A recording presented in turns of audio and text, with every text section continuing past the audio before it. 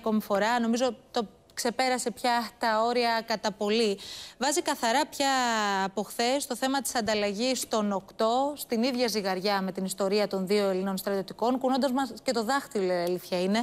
Μήπως το πράγμα έχει αρχίσει και ξεφεύγει, κατά τη γνώμη σας; Κοιτάξτε, δείτε, αν κάνει κανένας ε, έναν απολογισμό τα τελευταία περίπου δύο χρόνια και λέω από τον Ιούλιο του 2016 που έγινε αυτή εντός αγωγικών η απόπειρα πραξικοπήματος κατά του Ερντογάν και λέω εντός αγωγικών διότι η ιστορία θα δείξει ε, βλέπουμε ότι η Τουρκία έχει, είναι μια χώρα η οποία σπάει τις συμμαχίες της, δημιουργεί προβλήματα και εντάσεις όχι μόνο στην περιοχή αλλά και στην Ευρώπη και με την Αμερική και έχει και έναν ηγέτη τον Ερντογάν ο οποίος πια έχει μία νευρικότητα και μία όξυνση η οποία την δημιουργεί συνεχώς. Εμείς τι κάνουμε όμως κύριε Πουλάκη εδώ, γιατί κάποιοι λοιπόν- λένε ότι τώρα δένονται ουσιαστικά και τα χέρια της τουρκικής δικαιοσύνης. Υπάρχουν εναλλακτικές από την ελληνική πλευρά; Για να εμείς λοιπόν πρέπει να πάρουμε τις τέσσερις βασικές ε, ιδιότητες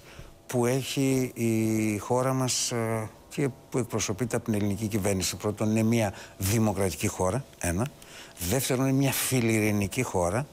Τρίτον, είναι μια χώρα η οποία έχει κράτος δικαίου, δικαιοσύνη. Και τέταρτον, μια χώρα η οποία είναι μέσα στην Ευρώπη και πρέπει να κοιτάει και να ε, πολιτεύεται με τα συμφέροντα και των συμμαχιών της. Έτσι λοιπόν η Ελλάδα και η ελληνική κυβέρνηση θα πρέπει στις προκλήσεις της ε, τουρκικής πλευράς, οι οποίες είναι παντού, είναι ναι. στο Αιγαίο, είναι με τα Ήμια, είναι με το Κυπριακό, είναι με την ΑΟΣ, είναι με το τόξο πάνω στα βόρεια, είναι με τους ε, δύο Έλληνες αξιωματικούς στρατιώτες. Σε αυτή την πίεση θα πρέπει να πολιτεύεται με αυτά τα τέσσερα στοιχεία, δηλαδή με έναν τέτοιο τρόπο που και να σταματάει με τις συμμαχίες οι οποίες κάνει με τον τρόπο της να σταματάει όσο μπορεί την προκλητικότητα της ε, Μπορεί τουρκικής όμως πολιτικής χώρα αλλά από την άλλη μεριά του Πρωθυπουργού αλλά κύριε την άλλη μεριά, να τον αποκαλεί Σουλτάνο.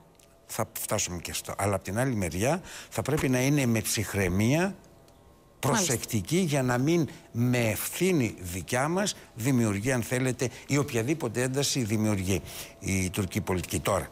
Κοιτάξτε να δείτε, αυτή η ιστορία με το ότι μου έταξες, μου είπες, το οποίο το παίζει ε, αρκετό καιρό, το αφήνει ο Ερδογάν και νομίζω ότι και οι ερωτήσεις οι οποίες γίνονται από τα κόμματα της αξιωματικής αντιπολίτευσης απάντησέ μου στον Έλληνα Πρωθυπουργό έχει τις εξής αδυναμίες και θα ήθελα να το πω και να ολοκληρώσω. αυτό. Να το ξεκαθαρίσουμε. Πρώτον, θα ήθελα να πω το ότι εμείς εδώ πέρα Έχουμε εμπιστοσύνη και νομίζω πια όλο το πολιτικό σύστημα και όλα τα πολιτικά κόμματα. Δεν πέφτουμε στην παγίδα του Ερντογάν και έχουμε εμπιστοσύνη στον Έλληνα Πρωθυπουργό. Ένα. Δεύτερον, δεν μπαίνουμε στην ατζέντα του, του, του Ερντογάν, ο οποίος ως ανακριτής γυρνάει και λέει ότι ξέρεις, μου έταξες. Τρίτον, η απάντηση, ο τρόπος με τον οποίο θα απαντήσει και απάντησε ο Έλληνας ε, Πρωθυπουργός, υπάρχει στην ανακοίνωση, όπου γυρνάει και τι λέει η ανακοίνωση ο τρόπος της απάντησης έχει την αξία της. Ναι. ο τρόπος της απάντησης έχει την αξία της και τη σημασία της και στη διπλωματική και πολιτική γλώσσα την οποία πρέπει να απαντήσει. Όταν γυρνάει και λέει ότι εγώ είμαι πρωθυπουργός μιας α, χώρας δημοκρατικής όπου δεν έχω την δυνατότητα να ελέγχω τη δικαιοσύνη και να λέω κάντε αυτό ή εκείνο ενώ εσύ είσαι αυτός που είσαι που μπορείς να την ελέγχεις. Η απάντηση είναι ότι εγώ δεν υπήρχε περίπτωση να έχω πει ένα τέτοιο πράγμα. Κλείνω.